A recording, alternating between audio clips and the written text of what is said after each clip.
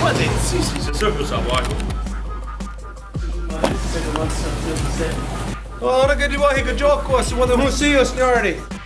We're here to bring to the attention of all the people that there is an illegal process that is taking place in Canada that is being perpetuated by the, the National Energy Board. There is a crime that is being perpetuated upon our Mother Earth. It is a crime against all humanity. It's a crime against every living thing.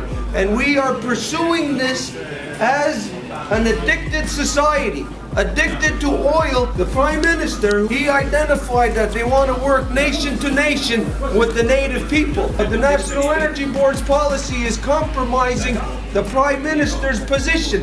It has nothing to do with representing you. So do not have the illusion of participating in a false political system and that you think that it will do something good. There's going to be no future for your kids if that pipe explodes.